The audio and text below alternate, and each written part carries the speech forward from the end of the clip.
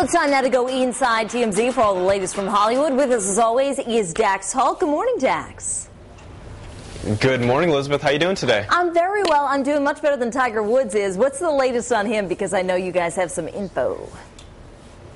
Well, here's the thing. It looks like you know this Tavistock Cup that he's going to be going to is uh, all almost set. Uh, uh, we know that he earlier this week he went and had a little secret meeting at the Windermere community where he lives. He went from his house to a little bungalow that's near the clubhouse, met with a bunch of officials from this Tavistock Cup, and are talking about what's going to what he's going to do.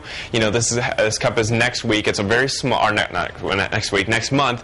It's a small one. It, it's just like uh, some pros from one community versus some pros from the Windermere community in which he lives, and uh, it's televised. However, you don't have the big crowds, anything like that, so he doesn't have to worry about all the media. Um, but uh, I'm, I'm pretty interested to see him finally hit the, the course again.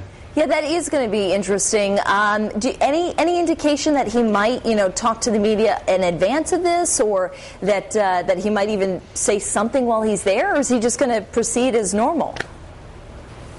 I think he's just going to walk out onto that golf course, play some golf, and then go straight back home. I don't see him talking to anyone. I really don't. Very interesting.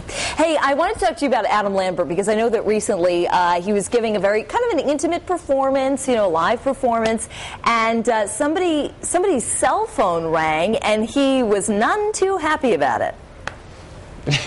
he was not happy at all because the person was talking on their cell phone in the front row, and this was a pretty little intimate venue. It was for a radio station in New York, and he's sitting there singing. The person's just blabbing away, and he's like, he stops down the entire thing, says, "Do you mind getting off your cell phone because I'm trying to sing here? you know, this this is not TV, honey. This is live." Is what he said, and and he just kind of ridiculed the person. He was like, "Look, this is not Domino's. We're not delivering." And eventually, the person hung up the cell phone, and he kept going. Yeah, I heard him say something like, "Hello, Domino's." Or something like that. I mean, yeah, he, he, was really disappointed that here he is, you know, really connecting with his fans, and they're too busy having a conversation on the phone. Um, I just wanted to ask you too about uh, exactly. uh, real quick because we only have a moment left. But Chris Brown, what's the latest with him?